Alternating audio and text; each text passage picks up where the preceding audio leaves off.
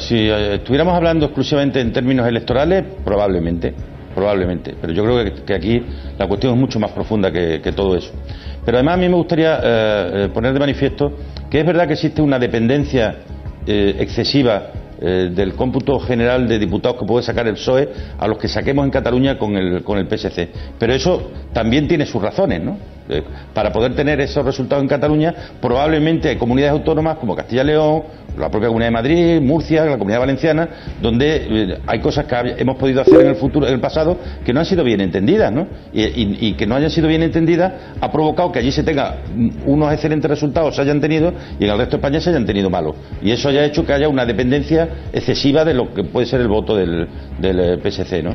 Eh, yo lo que sí me parece que esto cuanto antes lo resolvamos mejor, porque lo que no van a entender los ciudadanos que en mitad de la que está cayendo, en medio de la que está cayendo, nosotros estemos enredados en estas cosas que, realmente tanto. Yo no quiero estar eh, discutiendo sobre el derecho a decidir mientras haya gente en este país que pasa hambre. Y eso es algo que tiene que ser entendido. Este no es un debate entre autonomistas y jacobinos. Yo no soy el jacobino de la película. Este es un debate entre autonomistas y nacionalistas.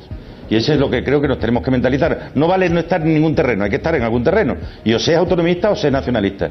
Yo no puedo ser autonomista y al mismo tiempo estar defendiendo el derecho a decidir si, si, mi, territorio tiene que eh, independizarse de España o no. Es algo que es difícil de casar y como es difícil de casar, veo, mal, veo difícil la salida. Pero en fin, confío en la habilidad de Alfredo Pérez Rubalcaba para llegar a, a, acuerdo con, con el secretario de los socialistas catalanes, al que además yo en estos meses pasados he defendido por su, por su compromiso en las reuniones del PSOE eh, de compartir cosas, ¿no? Pero me he llevado la sorpresa de que cosas que afectan a la jefatura del Estado o que afectan a algo tan, tan eh, sensible en estos momentos como es la, posible independencia de Cataluña, se tomen decisiones sin tener en cuenta cuál es la posición que tiene el Partido Socialista, que me parece eh, que en estos momentos es muy clara, ¿no? Nosotros somos un partido que, el único partido que lleva la E de España en sus siglas y si la perdemos hemos perdido casi todo, ¿no?